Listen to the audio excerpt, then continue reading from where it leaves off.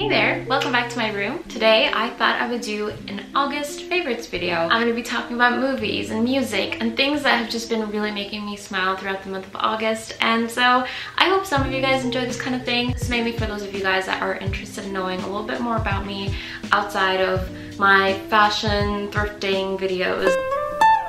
Most of you guys already know this now, but I am actually eating all plant-based foods and I really just care a lot about what I'm putting into my body and how my body reacts to the foods that I've been eating. But I also really have started to care about my skincare. I just had the crazy experience last year where my skin was breaking out from some ingredients that I was putting on it. It was a huge wake-up call for me not to just go into something without, you know, trying it out first or looking at the ingredients. So with that being said, this video is heavily sponsored by Follain. Now you guys have probably seen these cute little green pouches all over your favorite YouTubers channels, but I'm actually really excited to have this become a part of my everyday life because Follain is a retailer that offers 100% non-toxic products. So they're kind of like Sephora and Ulta in that they have a range and variety of different brands and products and you can kind of just like choose the things that you like. I'm just gonna quickly show you guys some of the things that are in this pouch that I've already started to use. We have these really cool multi-purpose soaps. So you can use this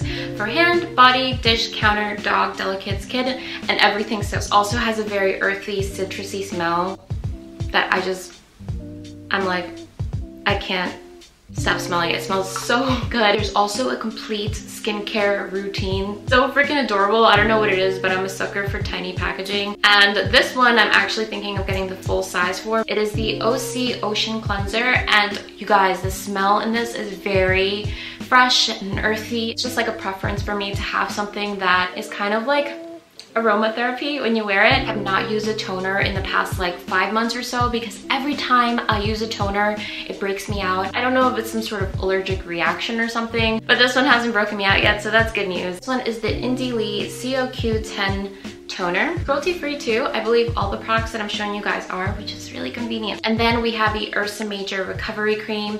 This one is a little bit thicker in consistency and so I've been wearing it at night. This entire pouch retails for $45 but for the first 150 people to click the link down below, you get 60% off which means I think it comes out to like about $18 and on top of that, you get free shipping. Huge thank you to Follain for sponsoring this video and allowing me to do what I love. I seriously am so excited to just be a part of a product that I really truly believe in and on top of that, you know, it supports this channel. So thanks again. I've been wearing red lipstick for the past like 50 videos on my channel and I've gotta say, it really just gives me a lot of confidence. I feel like my lips look really good in red lipstick. So I have just become a creature of habit in terms of what I've been wearing and so that kind of just became a staple of mine. Every time I tried out a new color, I noticed that everything that I was applying on my lips made my lips feel like I don't know, dry looking. And recently, actually no, at the beginning of the summer, I was sent this amazingly cute little lipstick. You guys have probably seen this on my previous makeup tutorials that I've done this summer, but I, I, swear by this stuff it's really just a stunning color. And on top of that the formula is really creamy and soft. But okay let me just show you the color really quick. A little bit messy because I've just been putting my finger all over it. But it is this stunning brownish red color and I've just been wearing it oops I scratched it. Oh no. But I've been wearing it on my lips every day. In fact, I'm wearing it right now. And I just feel like it makes my lips look really smooth and buttery and soft. And I I just love it, okay? I've been wearing it every day and it's a good change for me. Although I do talk a lot about my thrifted style on my channel, I did want to mention my absolute favorite thrifted piece that I have gotten in the month of August. It's not really like thrifted at a thrift store. I actually picked this one up at this online store called thredUP. Here she is in all of her glory. It's just this beautifully flowy and fresh for Love and Lemons top. You guys know how expensive they can be. But this one, I believe I got it for like about $36, $38, which I know is kind of pricey, but it's barely worn. It looks brand new. There aren't any pulls in it. And you know, with this kind of fabric, it's easy to find like sort of like tears and stuff in them when they're secondhand. It has this really cool detail with some interesting panels and all of this pleating and some ruffles underneath. I think it's gonna be perfect to wear for the fall time. And oh my gosh, I almost forgot to show you guys these little cuffs that it has. Like they're so frilly and stunning little feminine top. I am a sucker for any and all like piratey, flowy, Victorian tops. So I am obsessed. I love it. And I really just wanted to show it to you guys in this video because I know that I'm going to want to wear this a lot during the fall time. But I feel like even now I can wear it because it is very flowy and airy. So maybe like on a breezier day, I'm just gonna pop it on and give her a go.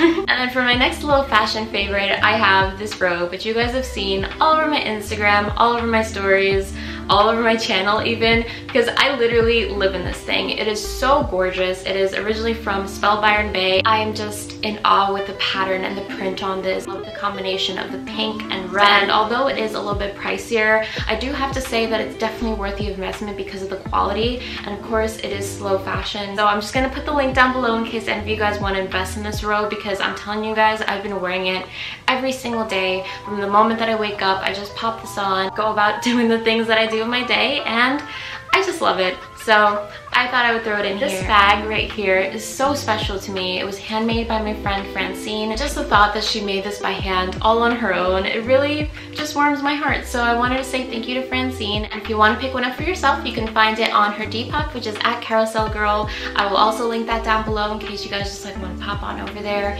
and get yourself a little handmade bag. She also let me know she's going to be doing a tutorial on this bag. So if you're crafty like me, then make sure you guys check out that video. I'm most likely going to be trying it out myself because this color is beautiful for the summertime, but I think I might want something a little bit more neutral for the fall. It's surprisingly very versatile. Like I've been wearing it with more casual outfits as well as like little dressy dresses. What? And then for my second accessory, I have this gorgeous little, oops, that's gonna bother me while I'm editing. I have this stunning little lion necklace that is also from Spelled Byron Bay. I'm an absolute sucker for anything monogram, zodiac signed because it just feels so personal and so I've been wearing it every single day. And now we're on to the entertainment portion of this video. I wanted to talk about some music and some movies that have been really just making me feel inspired. You guys probably noticed this from watching my videos and the music choices that I have, but a lot of the times they're very much inspired by what I already listen to in my everyday life. And so I thought I would recommend two different songs that I have been loving lately and that have been recommended to me by Roger because he has such an amazing musical taste. America's Made.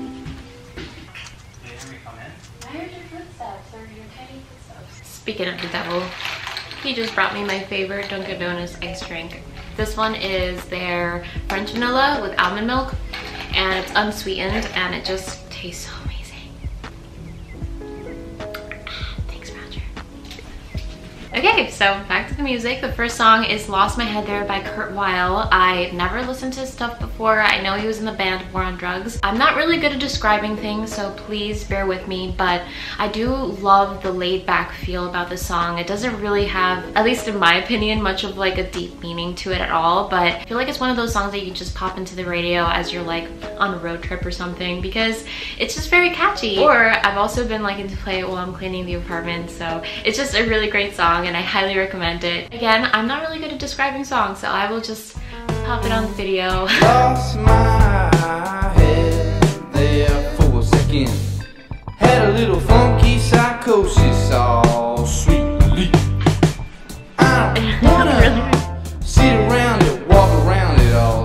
Next song I want to talk to you guys about is by Alabama Shakes. It's called Sound and Color and I am just obsessed first of all with the vocalist. Her voice is just very warm and powerful and soulful and it really just speaks to me. It's very chill and beautiful and deep and when the orchestral violins come in I swear I lose it all because it is just a beautiful song and I again am not great at describing things so that is as far as it's gonna go.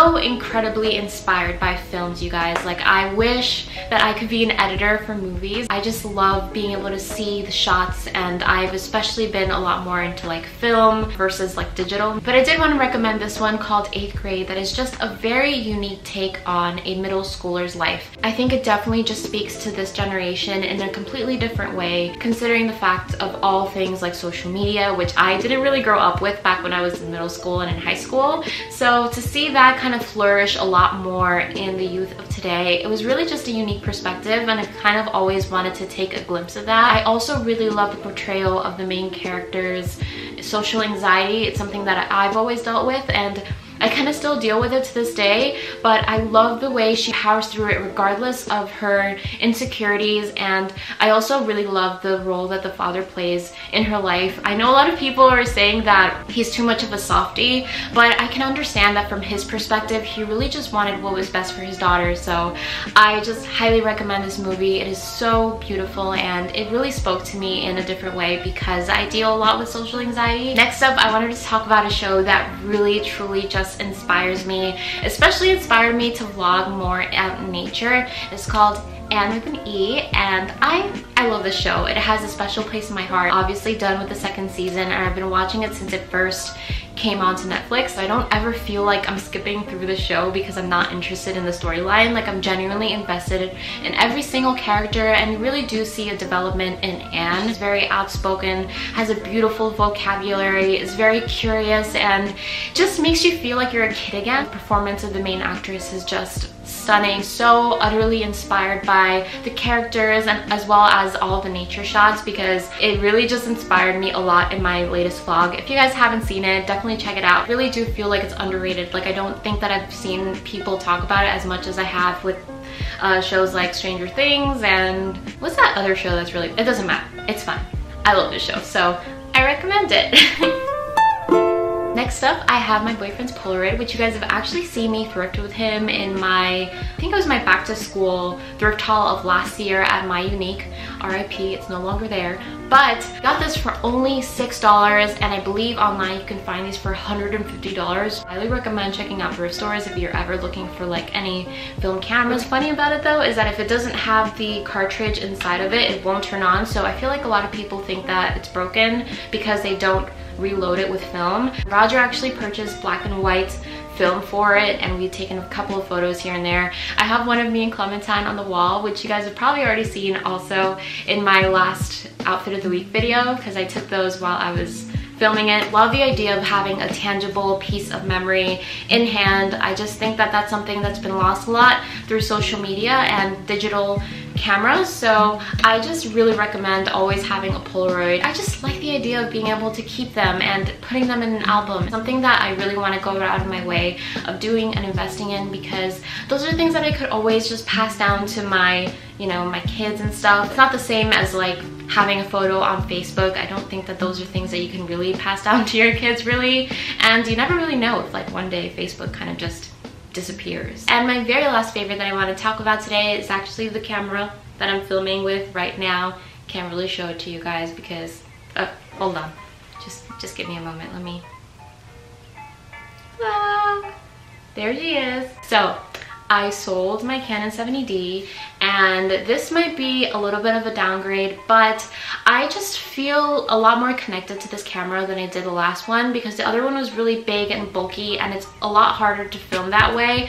And so although the quality of the picture isn't as good as my last camera um, I just love being able to have something smaller and something that I feel like I can take you guys along with me versus having like a big bulkier camera. Like I just I don't know if that makes any sense at all but I really just feel a lot more inclined to wanting to film because it's a lot smaller, compact, and it's just mine and I'm happy with her. I actually rented it out at first specifically for the cabin vlog that I did a couple weeks back and I fell in love with it. So yeah, shout out to my Canon G7X that I'm filming with right now. Thank you all so much for watching and enjoying this time with me. I really hope that you guys could get inspired by some of the things that are inspiring me at the moment and that this video is like, you know, worth filming because I never do these and I really just want to be able to talk to you guys and connect with y'all with things outside of my normal shit. In the comment down below, please, please, please let me know any movie, music, art, any recommendations at all that you guys have been loving this month as well.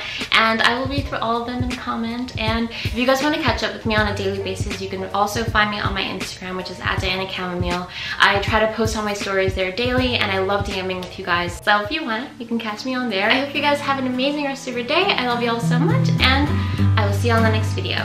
Bye!